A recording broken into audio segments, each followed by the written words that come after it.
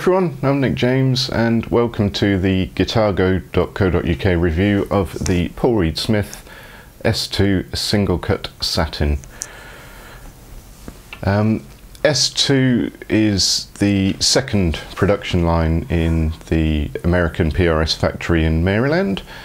Um, the guitars are more affordable than the core line um, because they've used a few few different techniques just to speed up the production process. Um, and the Satin series is the most affordable of all the American PRS guitars. So let's start off with the basics. We've got a one-piece mahogany body that's beveled um, for a bit of comfort. Um, it's a nice, nicely figured and grained piece of mahogany, which is a bit of a surprise at this price point actually. You'd expect something very plain. Um, it's about two inches thick, um, so it's a good slab. Um, we have a three-piece mahogany neck with a Indian rosewood fingerboard. Um, this is PRS's pattern regular profile. Um, so it's a nice rounded neck shape um, with a bit of meat to it, but it's not chubby or overly full. Um, it's a good halfway house in the PRS neck shape range. We've got two of the PRS number 7 S2 humbuckers.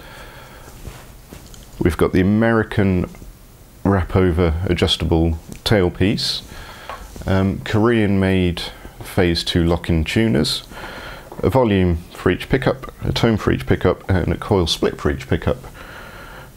And then the three-way toggle, uh, where you'd expect to find it on a single coil, uh, single cut type guitar. Now, with these four controls and the three-way switch, there's actually eight different pickup um, combinations. Each humbucker has its own coil tap. So this is the bridge pickup on full.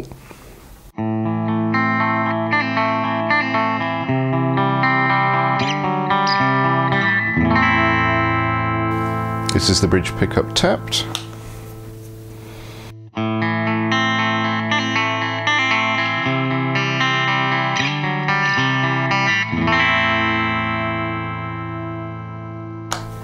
This is both humbuckers on full.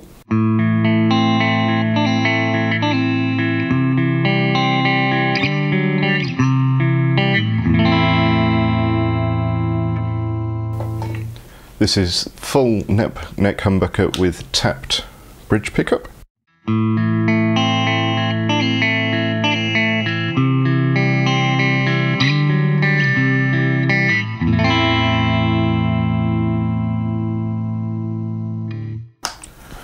And this is full bridge humbucker with the tapped neck pickup.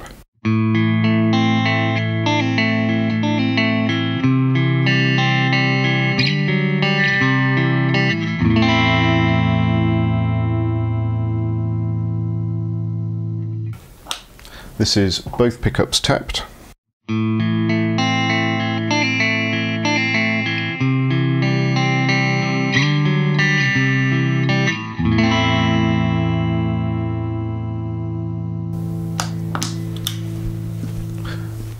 This is the neck humbucker on full.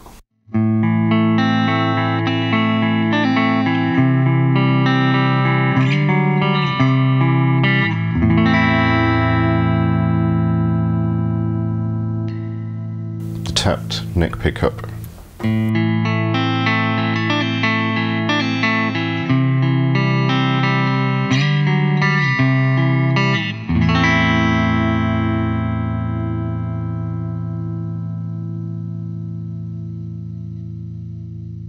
In terms of aesthetics, um, there's not a lot. Um, it's available in three different color, colours. You've got a charcoal grey, uh, a tobacco sunburst, and this rather nice vintage cherry. It's finished in a satin nitrocellulose, which is very, very thin finish. Um, you can actually feel the pores of the wood as you run your hands on it.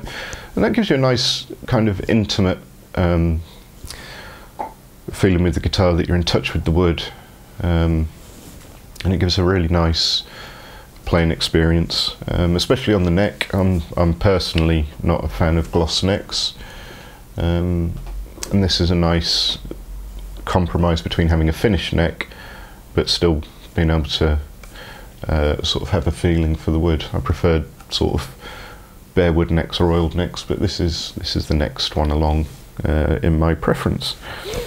Um, all the electronics are mounted, apart from the switch, on the pickguard, um, which again keeps costs down.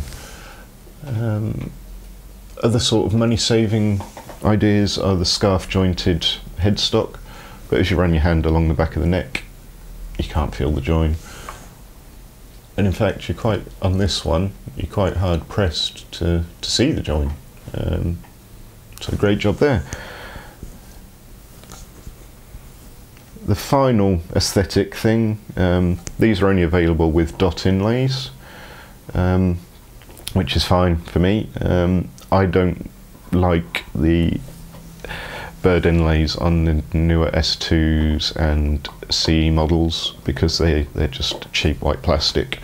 And if you're going to use cheap white plastic, there's no point doing an elaborate inlay. Um, keep it simple, nice big dots that are easy to see um, under any lighting condition. Um, and I think it, it, matches the sort of utilitarian uh, working musician vibe of the guitar.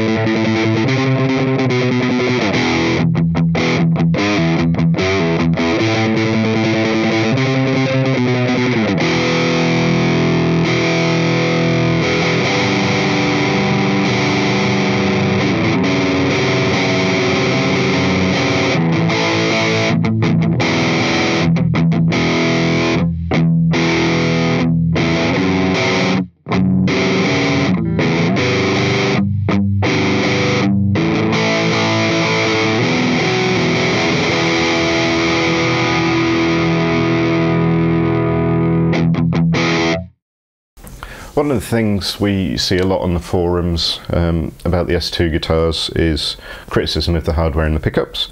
Um, on this one, as I say, it's the, the USA core adjustable fixed bridge, so that's kind of a moot point. Um, the pickups are wound in Korea to allegedly the same specs as the USA versions, um, number 7 treble and bass in this scenario. Um, and then Korean phase two locking tuners. Um, the tuners are fine. Um, yes, they're cast metal rather than machined. Um, but as I've said before on the channel, PRS have always outsourced its tuners, um, and they've often been from countries other than the USA. Um, if you've got a core line guitar, the tuners on there will either be from Schaller in Germany or from Gotoh in Japan. Um, these just happen to be made in Korea and functionally they work fine. Um, they're very stable, they're very quick and easy to use and aesthetically you'd be hard pushed to tell the difference between these and the guitar uh, tuners used on more expensive guitars. Um, for me, the elephant in the room is those pickups. Um, there's nothing wrong with them per se, but from a purely subjective point of view, they don't seem to have a lot of character. Um, the neck pickup is usable. Um, the neck pickup is okay. Um, especially when split. Um, but the bridge pickups just, it's not even vanilla because vanilla's got character.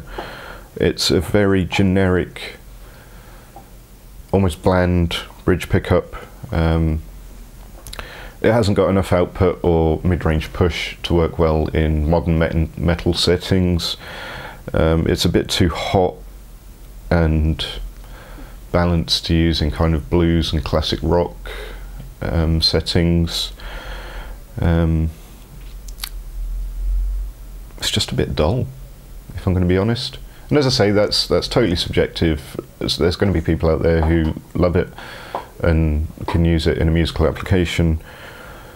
But for me, um, when buying, particularly the single cut S2 Satin, I think you probably need to budget in for a new bridge pickup to to match the kind of music that you enjoy playing.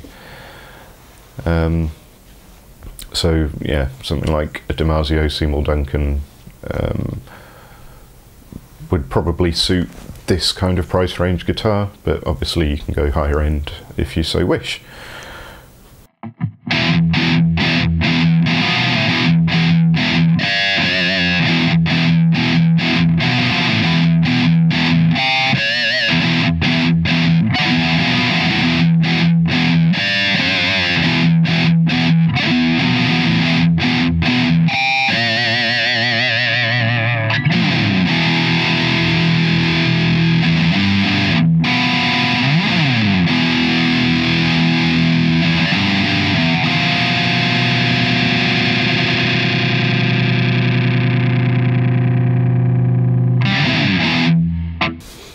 In terms of playability, uh, you've got 22 frets on a 10 inch radius fingerboard. Um, really slick. Uh, it's got great low action. Um, the neck pitch is ideal.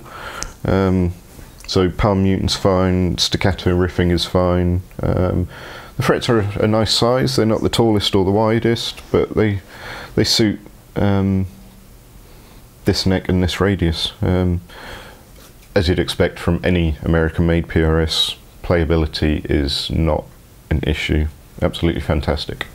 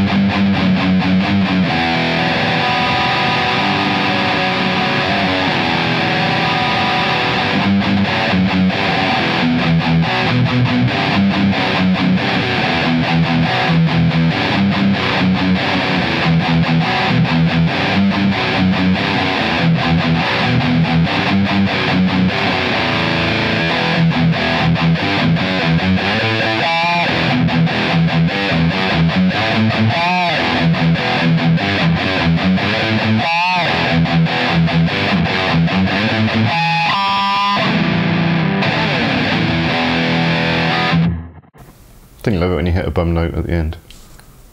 In summary, for £999, you are getting a genuine American made PRS guitar with all the good stuff that that entails. It, the finish is flawless despite being so thin.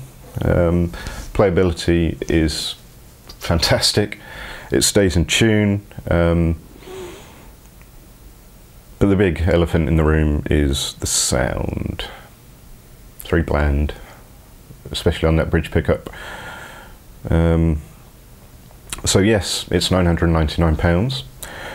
Um, yes, it's the most affordable way to obtain an American PRS um, for you know brand new, but you're going to have to factor in, in my opinion, um, no matter what style of music you play, you're going to have to factor in for a new bridge pickup at least, um, and possibly a new neck pickup, depending on your tastes. Um, so that 999 pounds. So you want to spend 85 quid on a on a Duncan or a DiMarzio. That takes it to nearly 1100. So value for money. It's still very very good. Um, in terms of competition, you can buy a Gibson satin nitro finished guitar for six hundred pounds £700, whatever they are at the moment. Um, the finish is not going to be as well applied as this. Um, the satin nitro models from Gibson tend to have that kind of orange peel effect on their satin nitro finish, which again is not a bad thing. Um, that's a purely personal preference thing. Um, but this is as smooth a satin paint job as you will ever find. Um, playability is flawless, and I think at this price range, that's that's what you're going to be looking for. Does it play well? Does it stay in tune? Does it look good? Um, and I think this ticks all those boxes.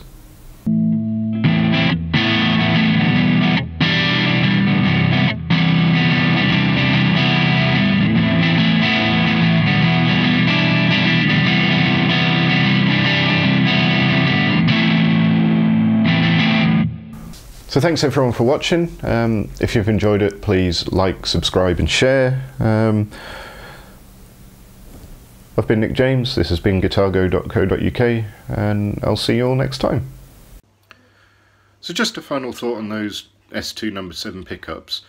Um, the standard set in 22 and 24 come with the 8515S pickups which to my ears at least are much more toneful, they've got a lot more character and personality. Um, and I think PRS have dropped the ball a little bit by not putting them in the S2 single cut. So if you get the chance, make sure you try all three models side by side and hopefully one of them will speak to you more than the others and uh, happy days. So thank you very much and we'll see you next time. Bye.